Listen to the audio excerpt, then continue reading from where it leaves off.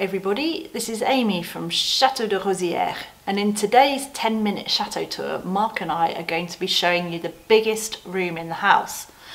It's got a fascinating history and I'm going to be telling you a bit about some extra history that we'll be putting into it, bringing it over from England. I hope you enjoy it.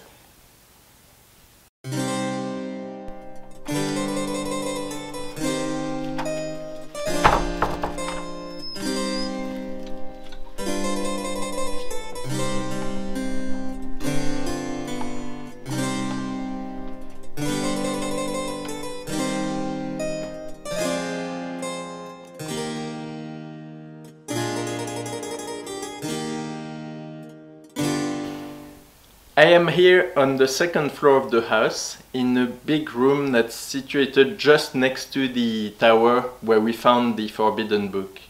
This room is extremely interesting because it spreads over two floors and it was walled all the way up to the roof. So when we first arrived we were wondering what the purpose of this room would have been in the past and uh, Amy's dad did a lot of research into it, and we found that the most likely purpose would have been a silk weaving room.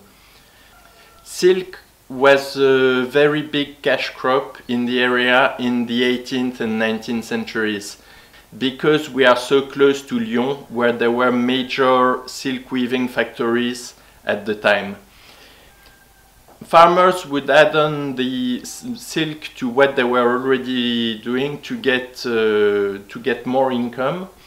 And a lot of old barns were converted into magnaneries which are silk weaving rooms. Silk is grown from the cocoon of a larva of a moth larva that feeds on mulberry leaves. Mulberry is a tree that grows really easily in the area and that's why it became quite a popular crop.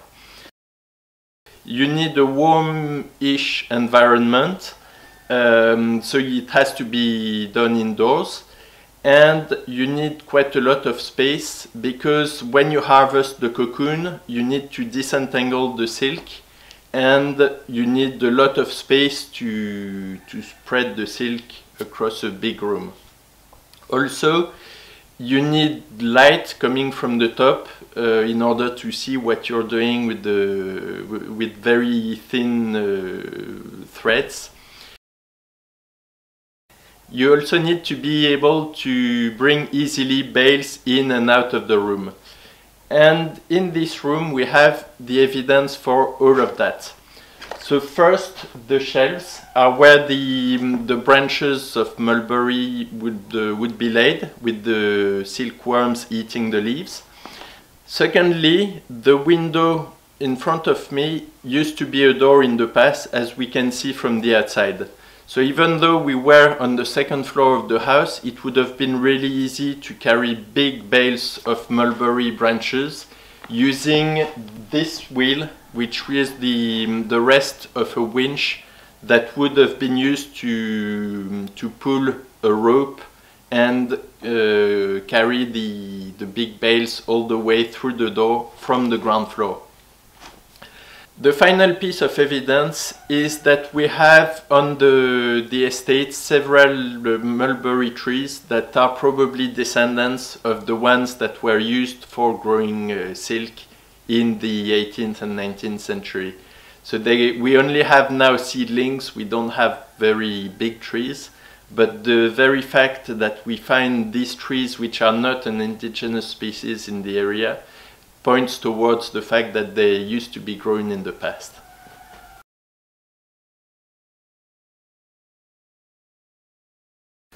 When we first came to Rosières, we weren't actually planning to visit this, but we came because of another chateau that had the most wonderful library. 18th century style with the silk on the walls, uh, beautiful, uh, beautiful gallery over two floors as well. And it's the only thing we were really sad about in this place is that this one didn't have such a nice library and we thought the um, actually the volume of this room would make a very spectacular library as the we both dreamt of.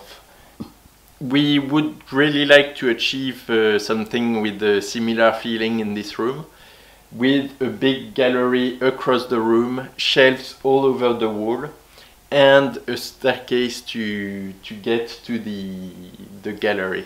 Amy is going to tell you more about this.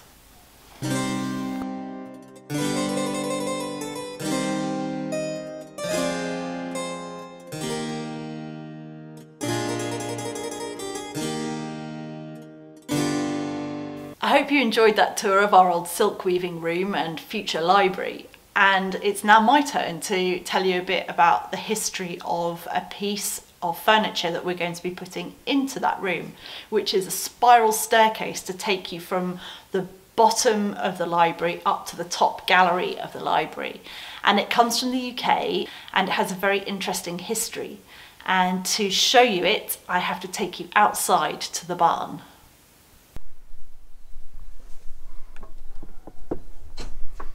And here we are in the barn, which will one day be our yoga studio, but currently is a furniture store. You can see there's lots and lots of treasures. And over here is the base plate of the spiral staircase. And dismantled in the corner, you can see the rest of it. It's a bit hard to imagine what it's going to look like. You can climb over here. but do you see this? This is one of the steps of it. And these are the railings all up the side here. Now you might be wondering why we want to put such a plain metallic utilitarian staircase into a beautiful 18th century bibliothèque in a medieval chateau. And the reason is because it's got an incredible history, and for us, the interest and the past and the history of objects is just as fascinating as um, how they look. This spiral staircase came from an airship station in the UK, not far from where I grew up in Norfolk uh, a place called Pulham St Mary, and we got it at an auction in Diss, which has a fantastic auction house, and we bought plenty of things from there before. Um, and we just couldn't resist it when we saw uh, it listed as an airship station spiral staircase. And at that point, we really didn't actually even know what we were going to use it for. Uh, but we went for it and we got it. I'm not sure many people have a great use for um, a airship station spiral staircase, so there wasn't a huge amount of competition. Um, so I thought today I might tell you a little bit about the history of the airships in this area in the UK. I know it's not our French chateau, but I find it really interesting and it's going to be the future of our chateau. In the early 20th century, aeroplanes couldn't really carry many people. Uh, they could fly quite long distances, but only with a handful of passengers. And so airships were used to carry hundreds of people at really long distances. They were great gas-filled balloons with gondolas underneath, and they were so large that they could have dining rooms, bedrooms, all sorts of things, and a separate driving gondola there. And they really boomed in the early 20th century.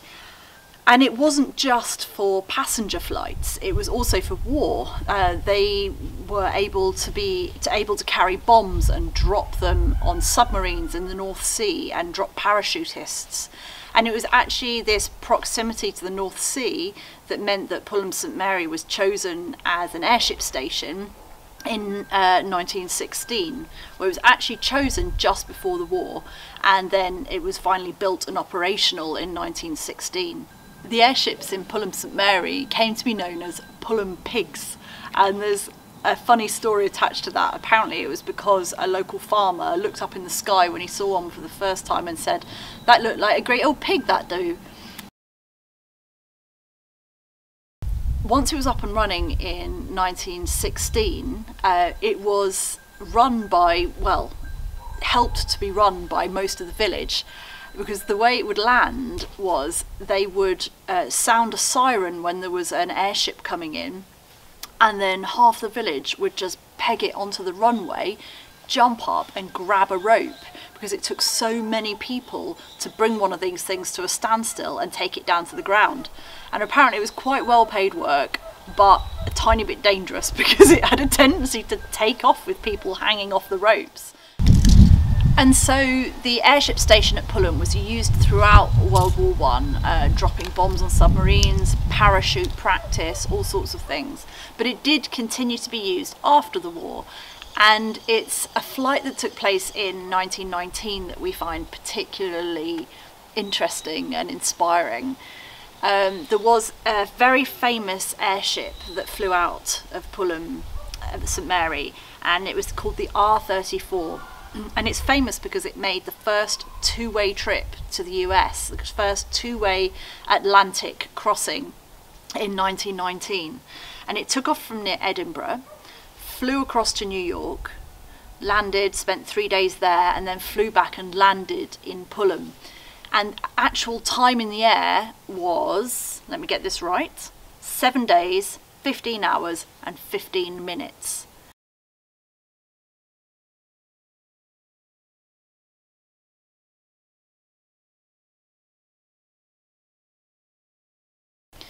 Funniest story attached to this is that once they reached New York, somebody had to parachute out of the airship to the ground to tell the ground staff how to land one of these things because they hadn't done it before. Anyway, so this trip took just over seven days, and a very uh, sweet thing is that in 1979, uh, on the 60th anniversary of that trip, Concorde did the same route. It flew from Edinburgh to New York and back to Norfolk. And that time it took the jet six hours and 59 minutes. And I just find it incredible that in 60 years, such a phenomenal change in technology happened. That goes from over seven days to seven hours to do the same trip. And our little staircase is part of that history. It's part of uh, the huge change that happened in the 20th century. And even though it doesn't look terribly pretty, we're so proud to have that coming into our library and into the new and future history of Rosières.